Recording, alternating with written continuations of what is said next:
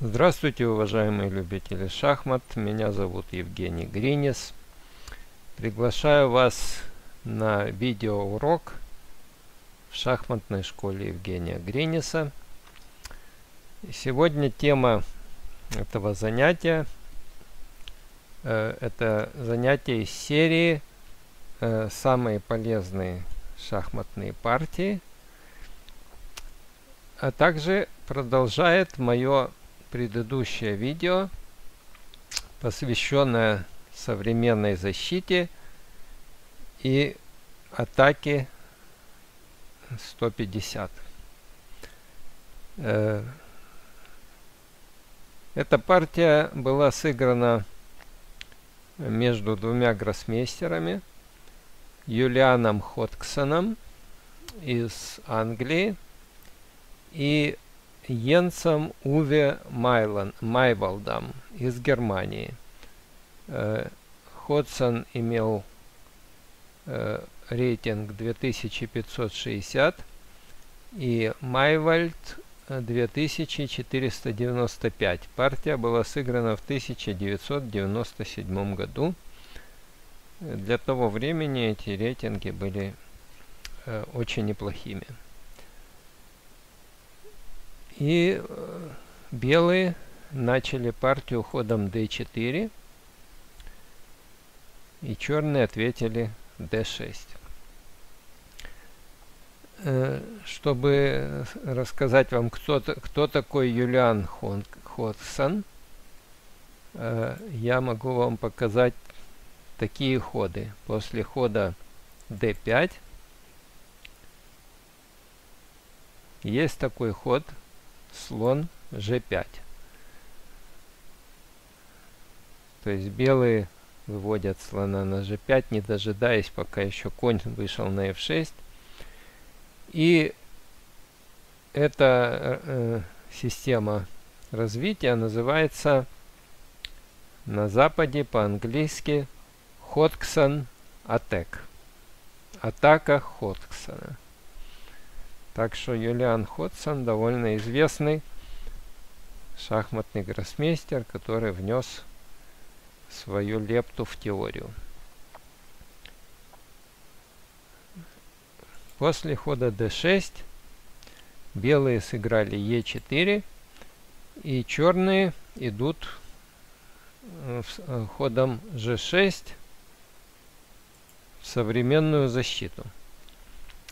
Э, я в предыдущем видео говорил, что это защита родственница защите Пирца Уфимцева, который э, с ходом коня в 6, конь c3, g6.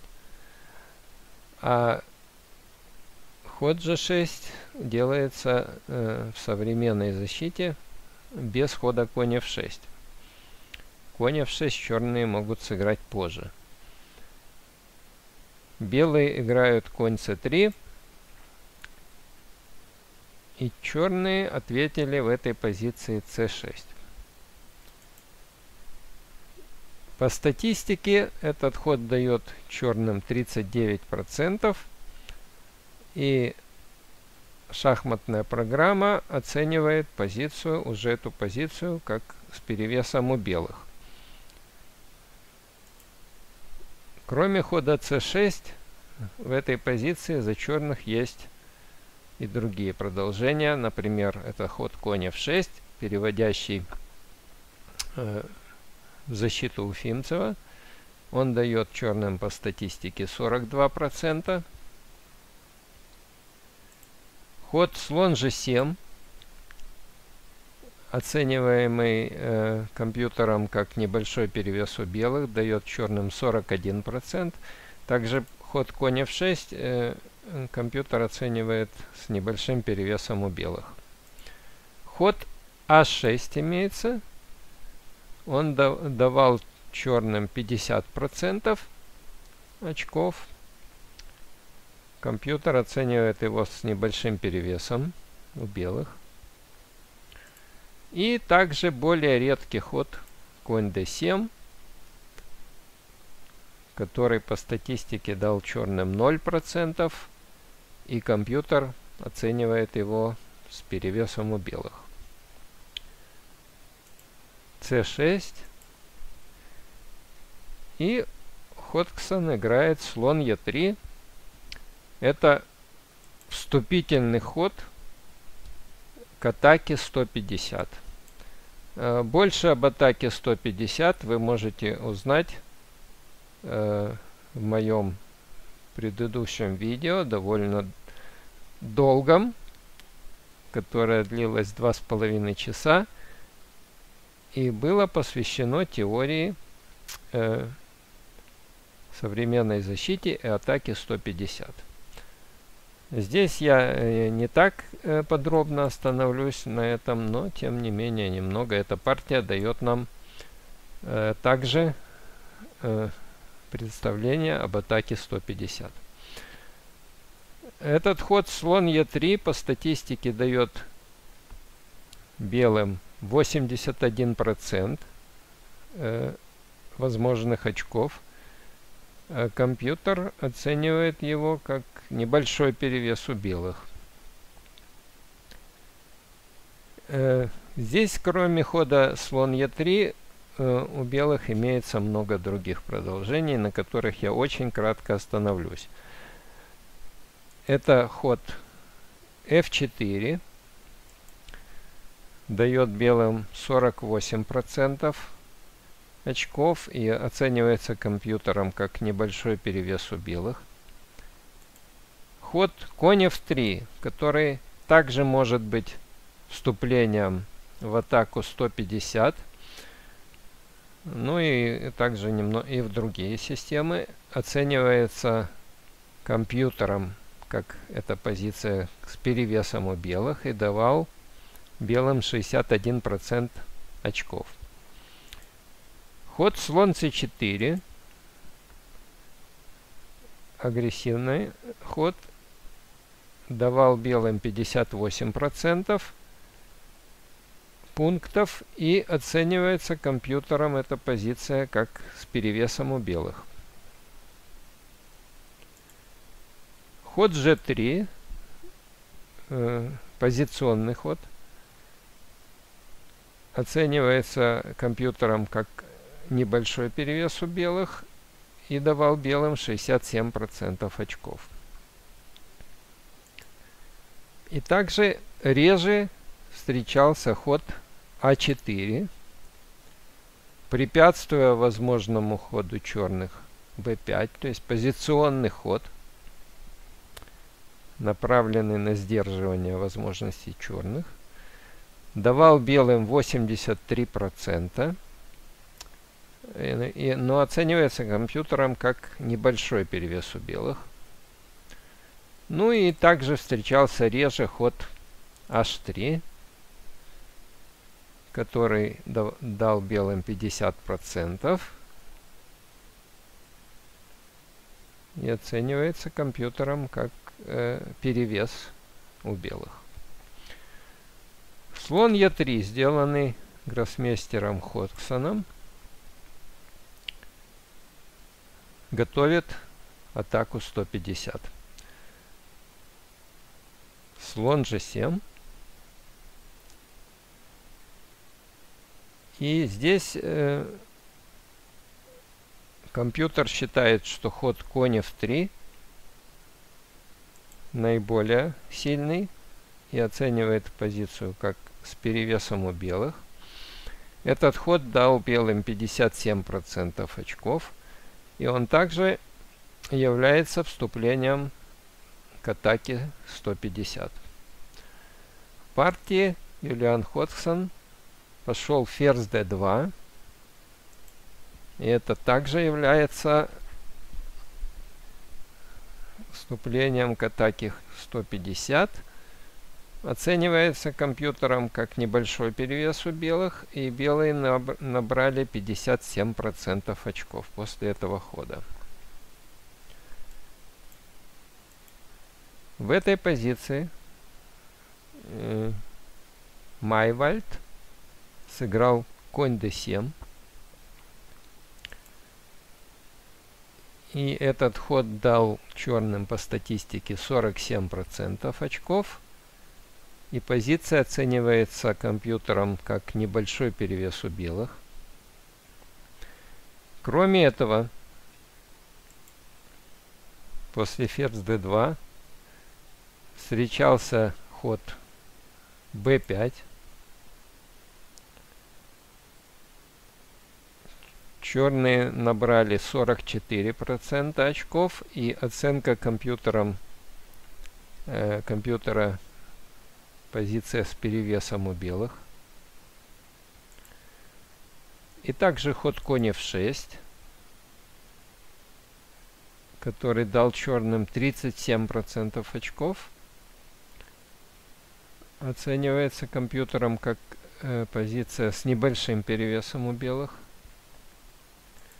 И также встречался реже ход ферзь а5, который принес черным 50% очков, но оценивается компьютером как перевес у белых. Конь d7 было сыграно в партии. И белые ответили конь f3.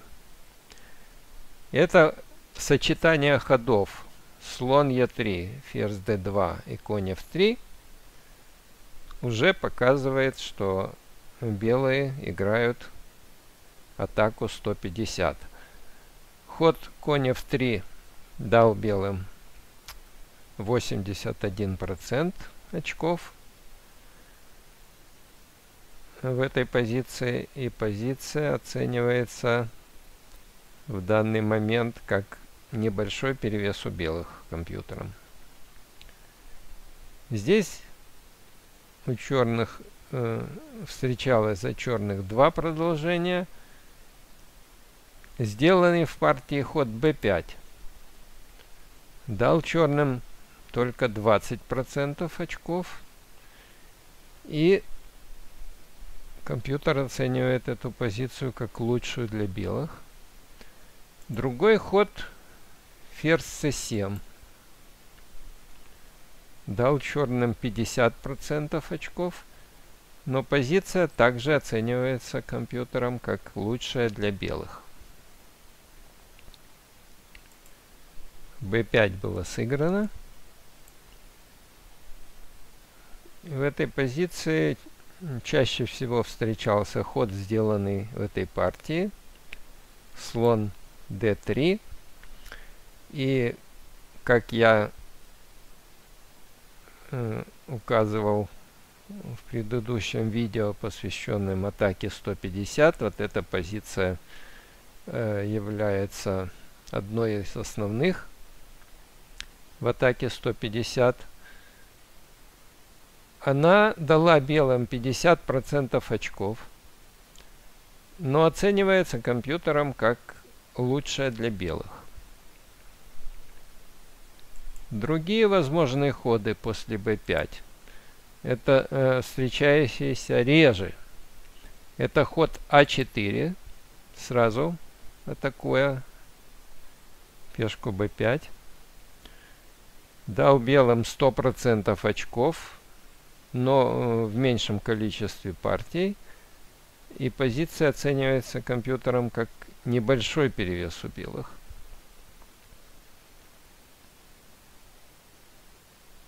И ход h4. Агрессивный ход встречался также реже и дал белым 100% очков компьютер оценивает эту позицию как небольшой перевес у белых. После хода слон d3 у черных есть по теории 4 продолжения. Партии встретился ход конь b6, который дал черным 40% очков – э, не очень нравится компьютеру. И, и компьютер оценивает эту позицию в пользу белых. Другое продолжение это ход ферзь c7. Он дал черным 64% очков. И компьютер оценивает его как э, позицию как несколько лучшую за белых. И мы можем посмотреть один э, теоретический вариант. Рокировка конь f6, слон h6, рокировка а4, b4, конь e2, c5, конь g3, cd, конь берет пешку, слон берет слона, ферзь берет слона, конь идет в центр, ферзь вернулся назад, ладья защитила пешку, король ушел. На h1, видимо готовя f4, ферзь b6, напал на коня, ход слон b5 защищает коня, а6, сгоняя слона. Слон идет назад. Слон атакует пешку на Е4. Белые осуществляют F4 ход, задуманный при отходе королем в угол. Конь возвращается на D7. И в этой позиции черные и белые Э, достигли 50% очков. Компьютер оценивает эту позицию как равную.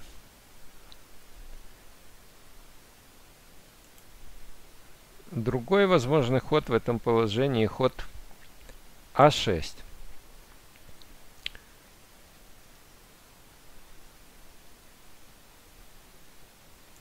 Сейчас посмотрим, сколько э, какой процент он дал. Ага.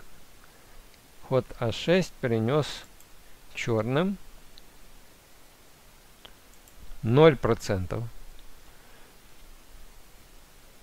И вариант теоретически здесь, э, и компьютер оценивает также эту позицию с перевесом у белых.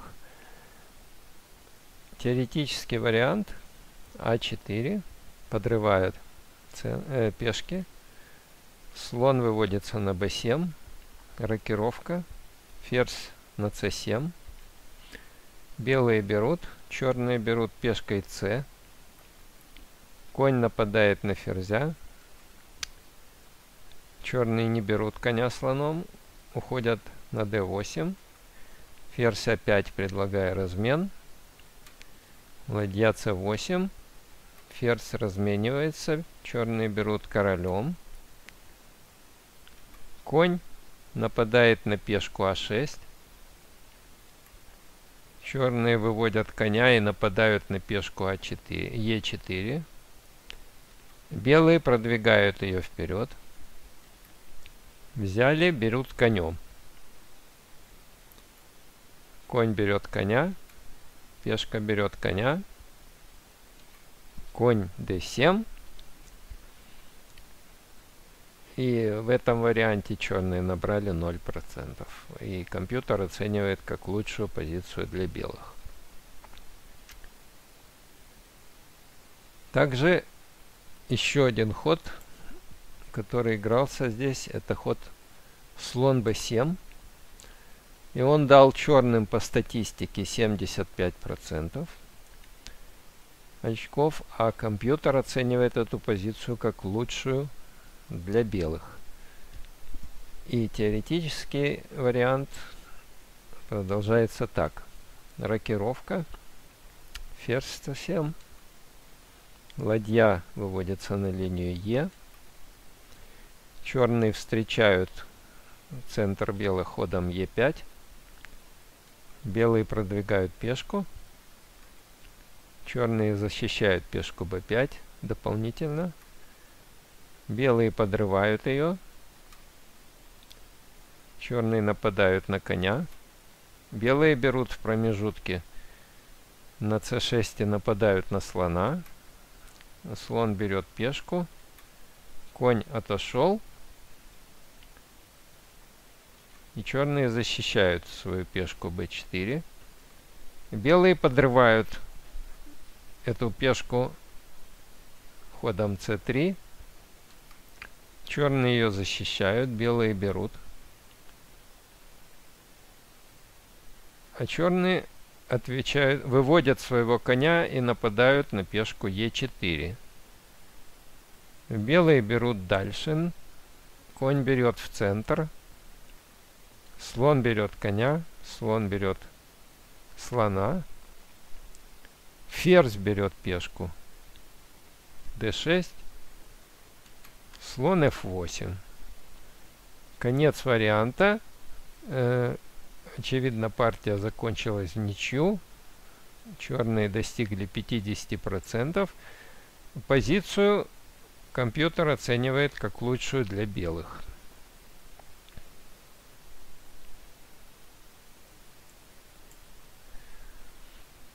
После сыгранного в партии конь b6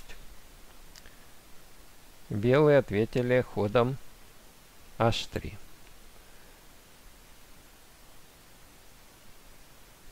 Еще один.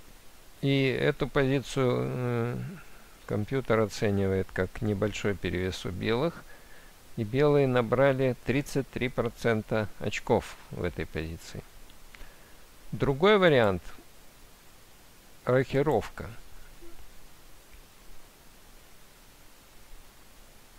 После которого белые набрали 100% очков по статистике, и компьютер оценивает эту позицию как перевес у белых. И здесь у черных э, два продолжения. Опять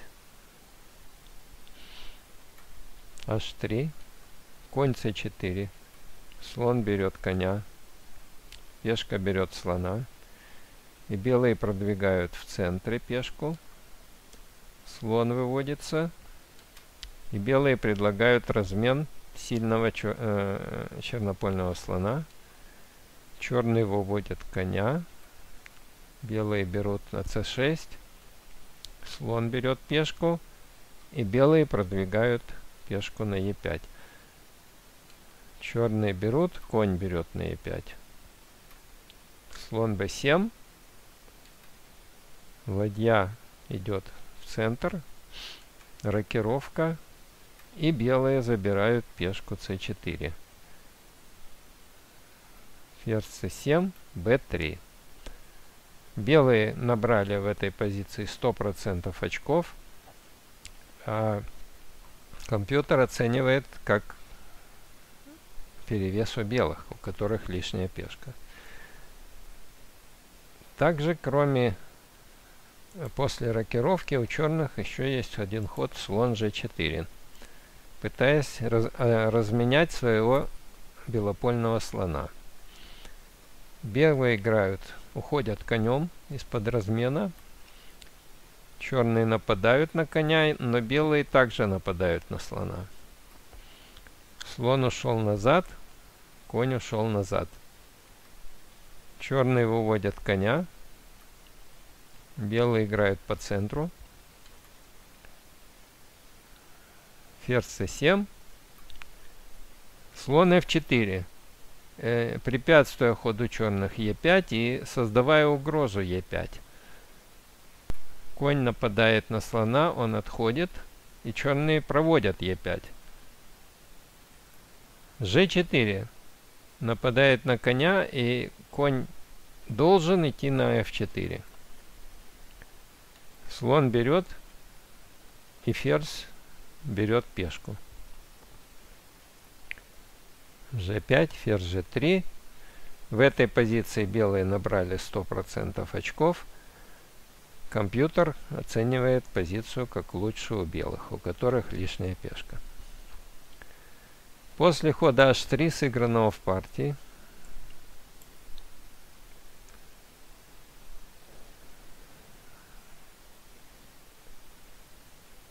у черных э, есть два хода, опять же, в этой позиции. партии была сыграна ладья b8. Компьютер оценивает эту позицию как лучшую для белых. Второй возможный ход черных это вывести коня коня в 6. Этот ход, видимо, компьютер считает лучше и дает белым небольшой перевес. Это теоретический вариант, который продолжался рокировка, рокировка, слон h6, типичная атака 150. И в этой позиции у черных есть два продолжения. Ход конь f на d7 дал черным 0% очков. Белые играли а4, подрывая центр, э, подрывая пешку b5, b4, конь ушел, а5. Слон разменялся. И c3, подрывая пешку b4. Как мы видим, эти идеи э, характерны для атаки 150. Это ход а4 и подрыв c3. И также размен слона g7. c5. Белые взяли на b4, черные взяли пешкой c. Конь g3. Также характерное построение для атаки 150. И черные встретили белых в центре ходом e5.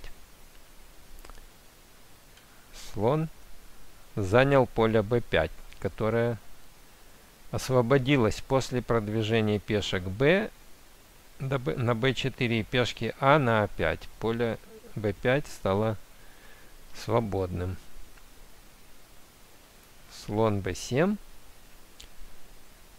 И черные набрали в этой позиции 0% очков. Оценка компьютера при перевесу белых. И второе продолжение э, после хода слона 6 b4, которая э, дала по статистике дало черным 50% очков, но позиция оценивается компьютером э, с перевесом у белых. Слон взял на g7, король взял. Е5. Белые пошли в атаку в центре. Черные взяли коня. Белые берут коня с шахом. Черные берут пешкой. И белые берут ферзем пешку черных. Ладья b8.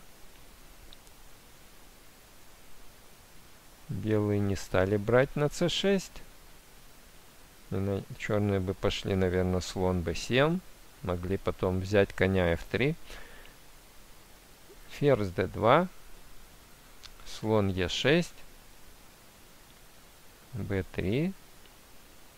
Защищая поле c4 от наскоков коня, коня b6, скажем.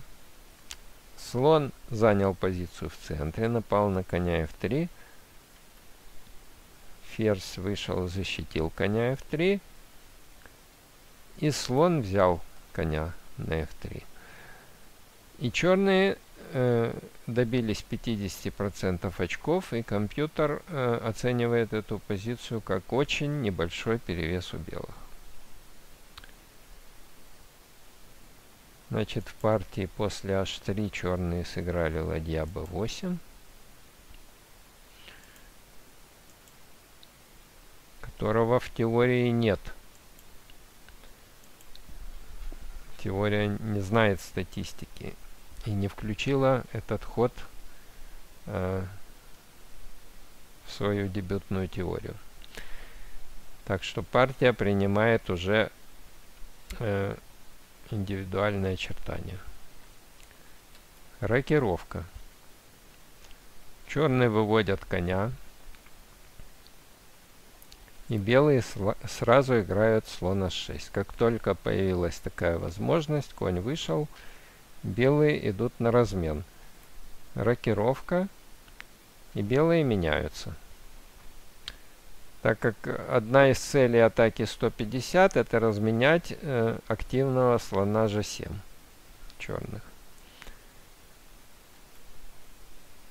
И ладья идет по центру. Ферзь c7 готовит ход e5. Но белые не дают черным сыграть e5 и сами продвигают пешку на e5. Э, вот это э, одна, один из важных моментов. Значит, гроссмейстер Хотксон показывает в этой партии атаку на королевском фланге, которая начинается ходом Е5. Белые захватывают пространство в центре. Эта пешка разрезает доску на две половины, одна из которых это королевский фланг, где белые собираются атаковать. Черные пошли конь d5. Эту позицию компьютер оценивает как позицию с перевесом для белых. Белые взяли на d5. И черные взяли конем. И в этой позиции э, компьютер предлагает ход ладья e4, который, вероятно, заслуживал внимания с идеей перевода ладьи на h4. В партии белые сыграли здесь слон e4. И после того, как черные ответили здесь h6, Хотксон неожиданно возвращается слоном назад. Потому что ему пришла в голову та идея, которую показывал компьютер. Черные сыграли ладья d8, ставя ладью на вертикаль напротив белого ферзя, что после разменов может сказаться в их пользу. И Ходсон играет ладья e4, угрожая ходом ладья h4.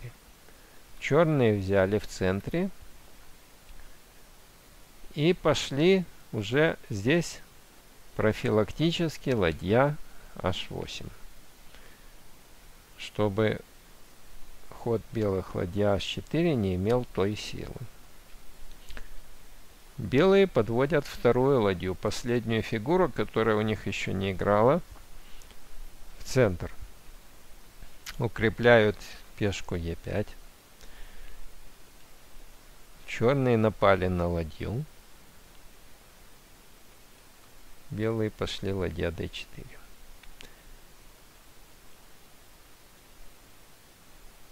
Компьютер считает, что черным здесь следовало разменять слонов, но они решили сохранить своего слона. Слон e6. Ну, у черных укрепленный конь на, в центре на d5, он укреплен пешкой b5. То есть согнать его так просто не получается. Но белые попробовали. Пошли c4. Черные берут. И белые взяли ладьей. У черных оказалась изолированная пешка на c6 которая поддерживает коня, но, но сама стала некоторой слабостью. Хотя компьютер эту позицию уже оценивает как позицию с небольшим перевесом для белых. Конь отошел, напал на ладью. Ладья c5. Значит, по-видимому, белые планируют игру против этой пешки c6.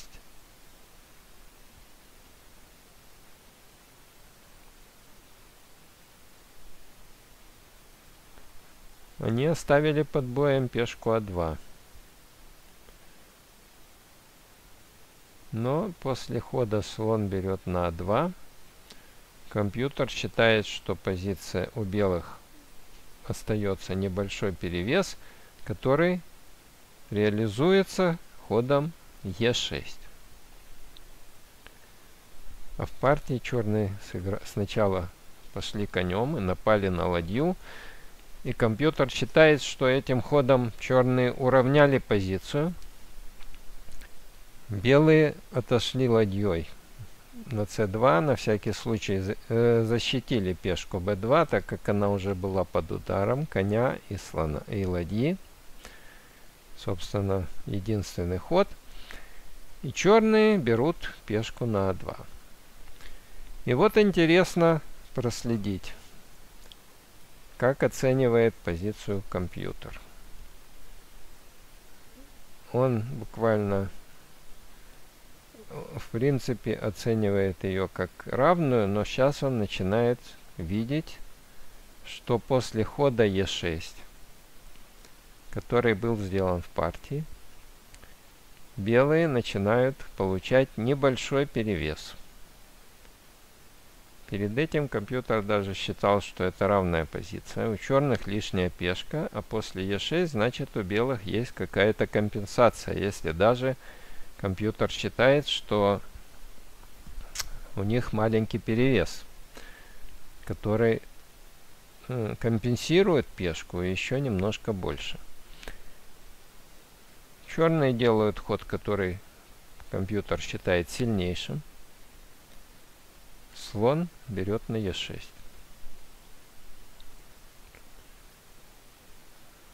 И компьютер оценивает теперь эту позицию как равную.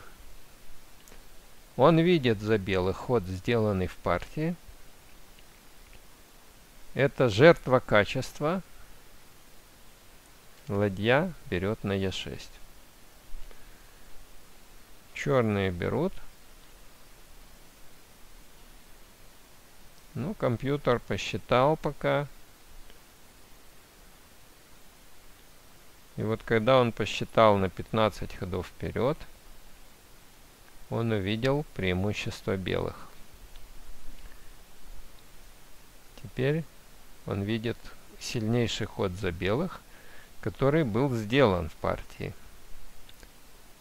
Ферзь Е3.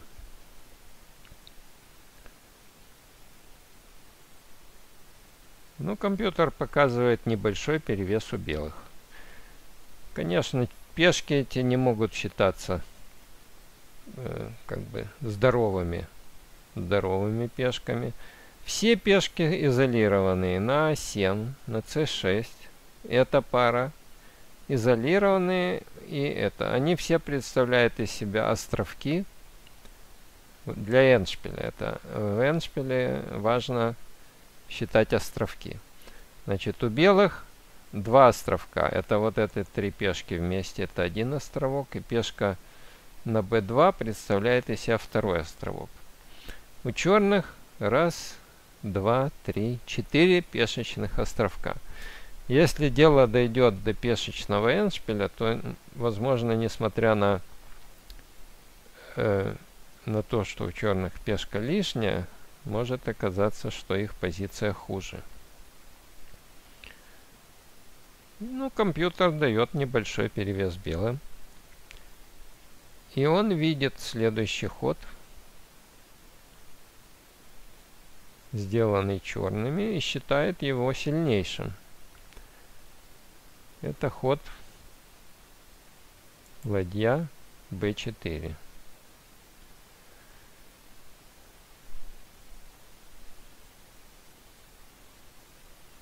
Второй ход, который компьютер здесь рассматривал и вначале считал его сильнейшим, а потом отбросил ход ферзь d6. В какой-то момент он, компьютер считал этот ход сильнейшим. Вот что могло быть после ферзь d6? Я показываю варианты э, компьютера, который Э, как, которые считаются лучшими, которые он считает лучшими за белых и за черных. Конь Е5. Ладья F8. Ладья берет на c6, нападает на ферзя.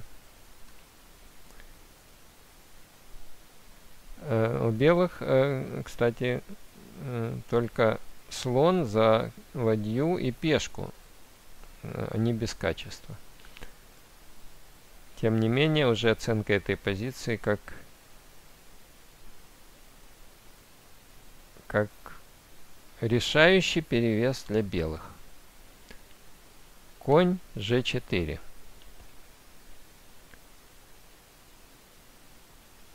g5. Ладья берет пешку e6. Уже только качество у черных. Ладья b3, например. Атакуя с, э, связанного слона. Ладья берет на h6. И если черные возьмут слона, то после ферзь берет на e7. Ну, давайте посмотрим этот вариант. Ладья берет слона. Ферзь берет на e7. Ладья f7. И ферзь e8. Ну, черные могут дать несколько шахов, начиная с хода ладья d1, потом ферзь d6, ладья заберет. Но у белых в связи с, э, с угрозой мата на h8 выигранная позиция. Значит, после ладья h7, другой вариант это ладья f7. Ладья g6 шах, король f8 и конь h6 угрожает небольшой мат на g8. e6. Шах на g8. Король единственный ход. Конь берет ладью. Король берет коня. Ладья берет на g5 и нападает на ферзя. Ну, например, ферзь берет на d3, ферзь а7. Да, длинный ход ферзем, шах, король f8. И тихий ход ладья g7. Угрожают маты по седьмой линии. У черных есть шах. Есть еще один шах. Надеясь на то, что белые побьют королем, Тогда у черных будет шах отсюда. Белые берут пешкой. Шах. Шах. Шах. Шах.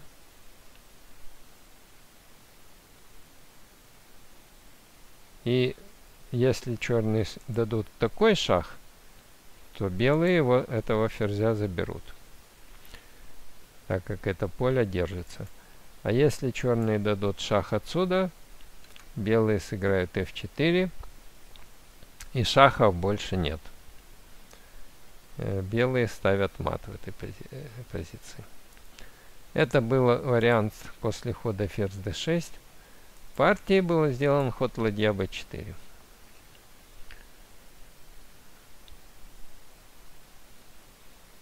Компьютер дает белым перевес, но не решающий, конь d4. Ферзь d6.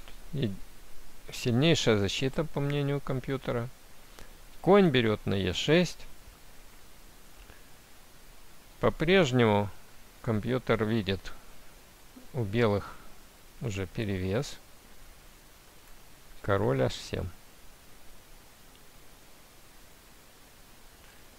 Здесь белые делают ход ладья d2, э, ставя ладью в засаду, угрожая взятием пешки g6 с шахом, и ладья заберет ферзя.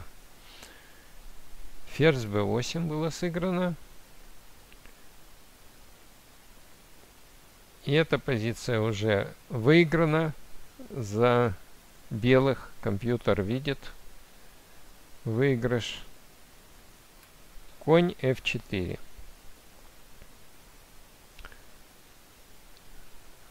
Ну и здесь интересные варианты тактические. Значит, черные пошли e5. И проиграли быстро. Другие возможные защиты были ладья взять на f4. Тогда ферзь берет на e7 шах. Король g8. И здесь самый красивый ход в этой партии, который, конечно, Юлиан Ходксон видел. Э, это ход слон b1. Двойная угроза. Ладья d8, шах. И ферзь должен забирать ладью и жертвовать собой. Вторая угроза. Слон а2. Почти мат. Ну и посмотрим, что же черные могли тут сделать. Например, ладья h7. Ну, тогда ладья d8 шах. То есть черные защитили поле f7 или дали королю поле h8, но просто идет ладья d8. Но у черных две ладьи за ферзя, но ферзь настолько активный. И здесь белые делают все равно ход слона 2, угрожая после ферзя 8 забрать ладью на h7. Ладья f7 надо играть. Слон берет ладью, король берет слона. За ферзя у черных э, ладья и конь. Но ферзь c7 шах, король g8 защищая ладью. Ферзь b8, шах, король g7. Ферзь берет пешку, шах. И после король g8 белые берут коня на 4 и выигрывают с ферзем против ладьи.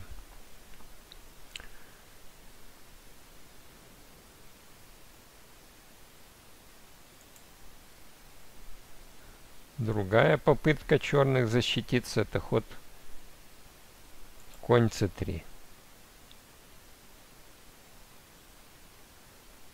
Ну, если белые возьмут, то черные возьмут слона с шахом.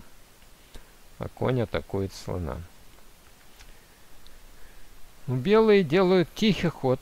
Они даже не дают шах на d8. Могли бы дать и выиграть ферзя заводил, тоже возможно. Но они играют ладья d7. Тихие ходы в атаке оказываются иногда сильнее, чем форсированные продолжения. Если они содержат сильные угрозы. Угрожает мат.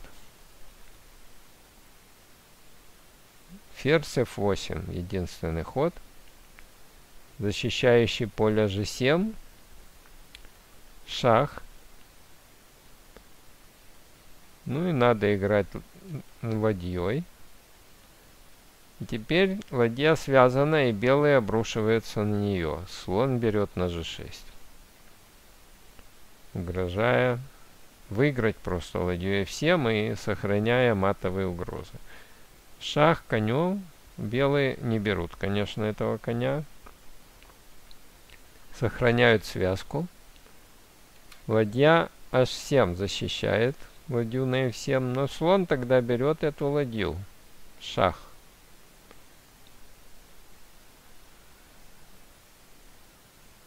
Если король h8, то ладья просто берет на f7, и белые грозят ходом ферзь Е5 и ферзь F6 мат. Защиты нет. Если после слона H7 король берет слона, то просто ладья берет на F7 с шахом, выигрывается ферзь и черный проигрывает.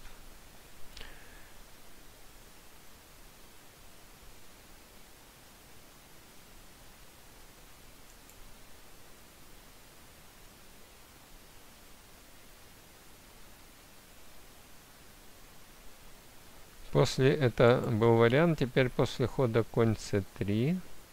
Нет, э, значит это был вариант с ходом конь c3.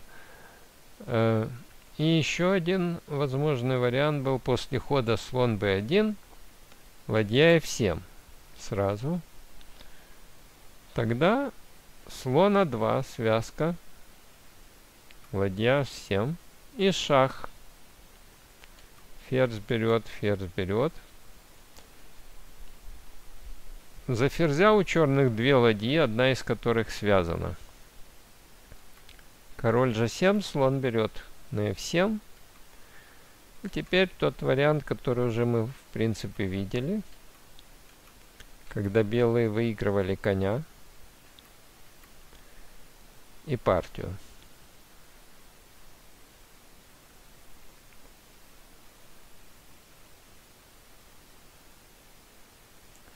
Это были варианты все с ходом э, ладья берет на f4.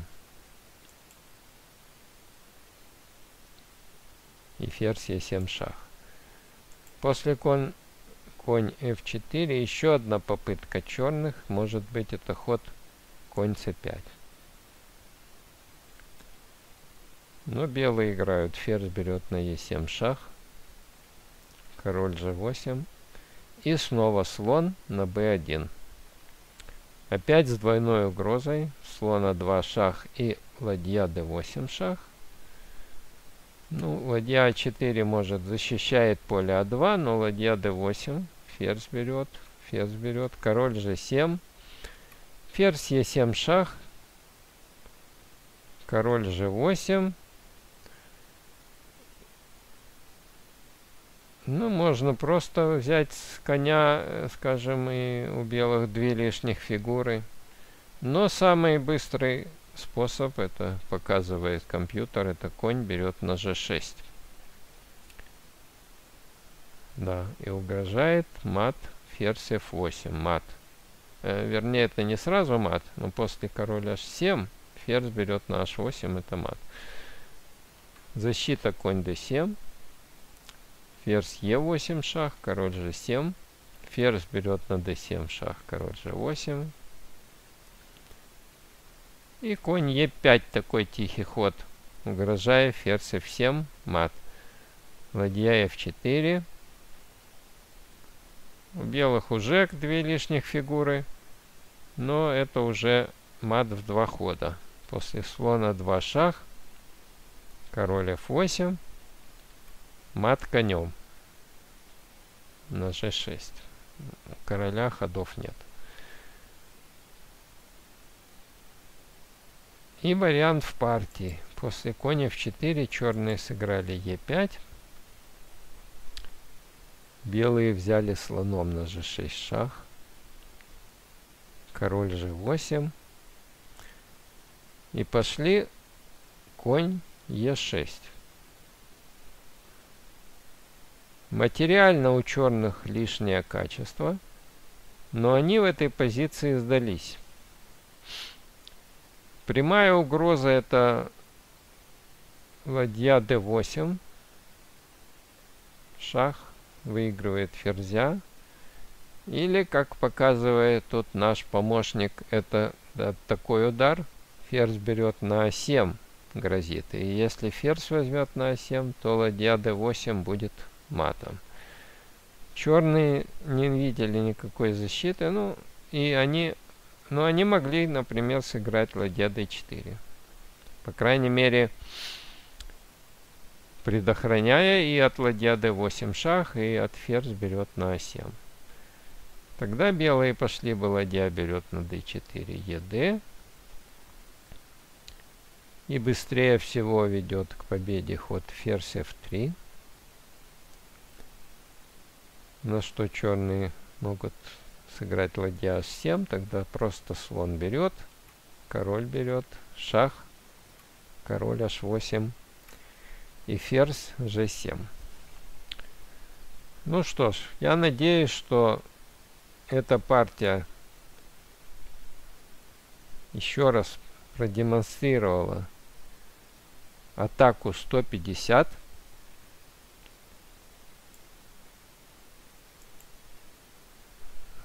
Ходами слон Е3 и ферзь d2.